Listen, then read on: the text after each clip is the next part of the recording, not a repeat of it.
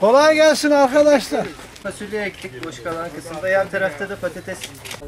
Taze fasulyemiz hazır yani. Aynen öyle. Burada ne kadar çıkıyor şimdi? Yaklaşık 1 milyon fideyi rahatlıkla çıkartabiliriz burada. Tatlı patates. Aynen.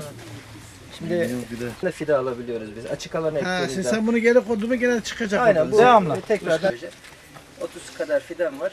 Bu sene onlar büyüyecekler. Seneye Büyür ben şeyde gördüm bunların ağaçlarını falan.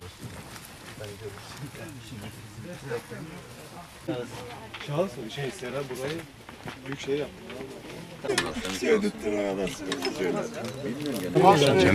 Erhan abi bir adım şöyle gel abi sen sana abi.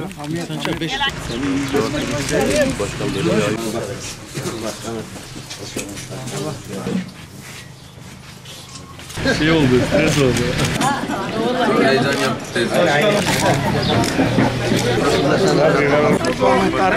Hoş bulduk. Sayın Başkanım.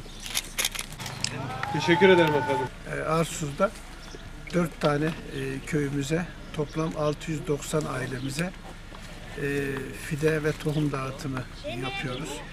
E, ve e, şu anda Hatay çapında 10 bin aileyi bulmuş durumdayız. 10 bin aileyi geçmiş durumdayız.